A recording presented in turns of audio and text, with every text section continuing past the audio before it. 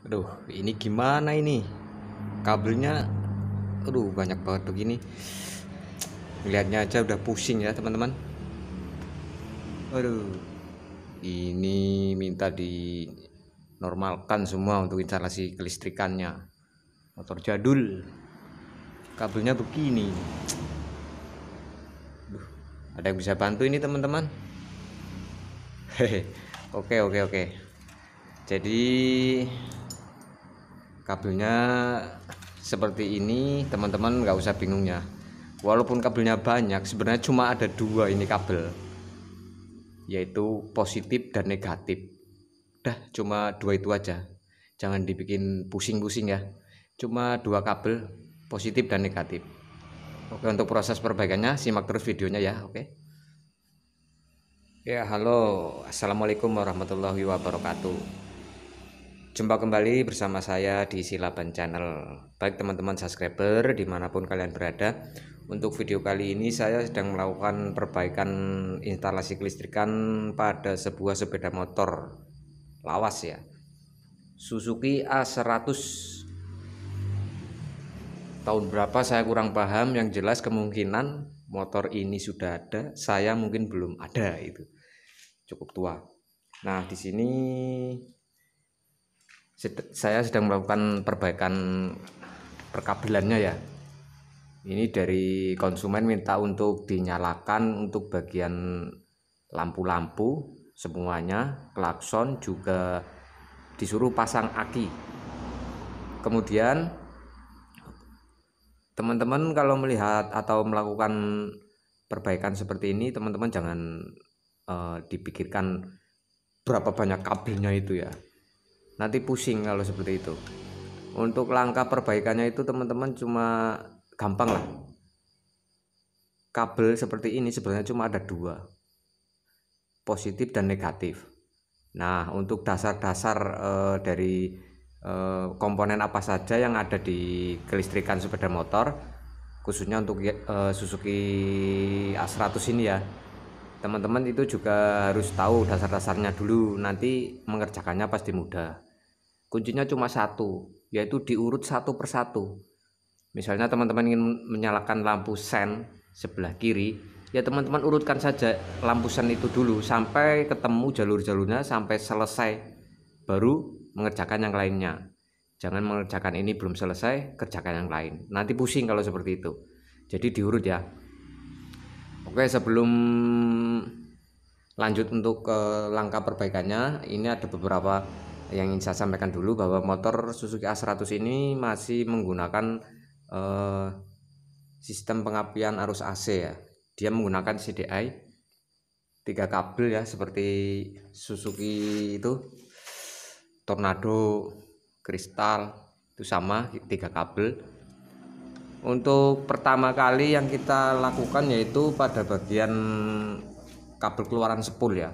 Di sini ada kabel warna kuning itu biasa dari 10 lampu ya. Kemudian kabel warna putih strip merah. Ini untuk pengisian ke aki. Kemudian sepul kabel sepul output sepul yang masuk ke CDI itu merah strip hitam yang dicabangkan ke kunci kontak. Kemudian ada kiprok Nah, di sini setelah pengecekan dilakukan pada bagian sepul, kita naik ke bagian kiproknya. Nah, kebetulan di sini saya menggunakan kiprok punyanya Yamaha Mio. 4 terminal ya, yang pengisian hal wave. Nah, kemudian untuk perbaikannya, saya pertama kali itu mengurutkan pada bagian eh, lampu sen ya. Jadi di video ini saya cuma menjelaskan eh, teori dasarnya saja. Untuk uh, video lengkap saya belum ah, memposting ya. Belum membuat video secara lengkap secara detailnya. Ini terlalu lama terlalu panjang. Jadi saya ambil untuk teori dasarnya saja dan video ini lebih saya khususkan untuk para pemula yang sedang belajar ya memperbaiki perkabelan di motor kalian sendiri. Nah yang pertama kita lakukan yaitu uh, misalkan nih kita mau memperbaiki lampu sen yang kita cek dulu itu pertama kali itu ya lampunya. Lampunya itu masih menyala atau tidak? Kalau lampunya sudah uh, atau masih menyala seperti ini ini masih menyala semua ya sudah saya cek. Kemudian baru lanjut ke bagian kabel-kabelnya diurut. Nah di sini ada dua kabel ya untuk e, lampu rem juga lampu kota. Kemudian satu lagi ground. Dan di lampu sen ini ada dua. Nah ini ground untuk tiga-tiganya ini untuk lampu rem lampu kota kemudian lampu sen kanan kiri ground itu cuma satu.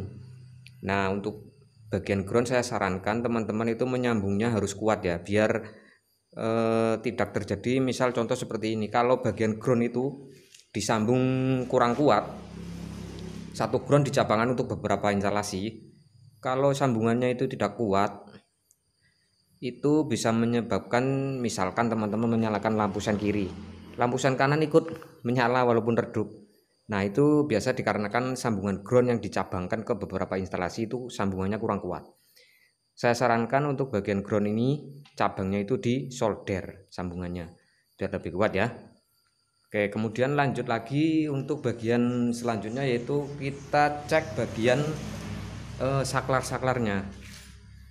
Ini untuk saklar lampu sen kiri dan kanan kita cek apakah ini eh, masih berfungsi dengan baik. Eh, saklar itu kan gunanya untuk eh, mendistribusikan uh, arus listrik arus listrik DC ya dari aki setelah melalui kunci kontak. Jadi kunci kontak off on kemudian arus aki itu didistribusikan ke saklar. Dari saklar kemudian ke instalasi yang membutuhkan begitu.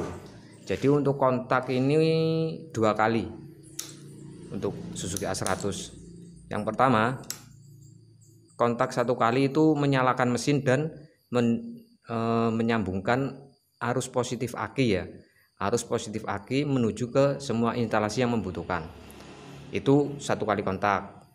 Dua kali kontak ini menyalakan lampu besar lampu utama depan dan lampu kota belakang Oke ya jadi ini untuk motor lama seperti ini untuk saklar lampunya itu tidak ada pokoknya anu, sistem otomatis seperti motor-motor baru sekarang itu bukan. Tapi memang ini didesain uh, untuk menyalakan lampu utama itu ada di bagian kontaknya. Dua kali kontak baru menyala untuk lampu uh, lampu utama dan lampu kota belakang. Nah kemudian untuk uh, bagian pengapian itu. Nah di sini ada CDI ini kabel merah ya ini saya sambung saya solder. Ini berasal dari spool nah ini. Kemudian dari sepul ini dicabangkan ke kunci kontak juga. Masuk ke kunci kontak yang nanti gunanya untuk mematikan mesin saat di off kan dan di dalam sistem kontak ini ada e, kabel ground yang masuk juga. Jadi pada saat kunci kontak di off itu ground menyambung ke kabel sepul yang tadi dicabangkan dari bawah itu. Jadi dia kalau di off kan justru menyambung. Dan motor tidak menyala. Tapi pada saat dikontak dia memutus. Tapi mesin menyala begitu ya. Karena tidak digroundkan dari sepul sehingga api dari CDI sampai masuk ke bagian koil dan ke busi. Seperti itu. Kemudian untuk kontak yang kedua kalinya itu eh, mendistribusikan arus listrik yang berasal dari sepul yang menuju ke kiprok yang warna kuning ini. Nah eh, mana ya? Warna kuning yang ini yang dari bawah ini. Nah ini ini dicabangkan juga ke kontak masuk ke kontak. Dicabangkan ke kontak. Dan itu nanti didistribusikan lagi ke bagian saklar jarak jauh jarak pendek setelah dari kontak. Oke seperti itu ya langkah daripada jalur arus kelistrikannya seperti itu. Oke jadi kuncinya cuma satu teman-teman itu telaten dan jangan fokus sama kabelnya yang semrawut. Karena kalau nanti fokus sama kabelnya yang begitu banyak semrawut teman-teman pasti pusing. Pikirkan bahwa kabel sebanyak itu sebenarnya cuma dua positif dan negatif. Kemudian untuk cara pengerjaannya biar tidak pusing itu diurus satu persatu. Satu selesaikan dulu baru mengerjakan yang lainnya lagi seperti itu ya. Nah kalau untuk bagian lampu sen itu kan kunci kontak on arus aki tersambung kemudian didistribusikan dari kontak menuju ke flasher flasher itu ada terminal B dan L. Nah untuk yang arus positifnya itu setelah dari kontak masuk ke terminal B. Nah terus terminal L itu masuk ke saklar saklar lampu sennya. Masuk ke bagian kabel tengah. Dan nanti itu dibagikan untuk sen kanan dan sen kiri. Nah itu urutannya seperti itu untuk bagian uh, flasher rating atau flasher lampu sen. Ya kurang lebih seperti itu. Dan ini cuma sepeda motor. Khusus untuk para pemula ya. Oke saya pikir sampai di sini dulu. Kalau ada pertanyaan silakan tulis di kolom komentar. Jangan lupa subscribe like, komen, dan share ke semua sosial media yang kalian punya. Jangan lupa juga aktifkan selalu tombol loncengnya biar teman-teman selalu mendapatkan notifikasi setiap saya upload video terbaru.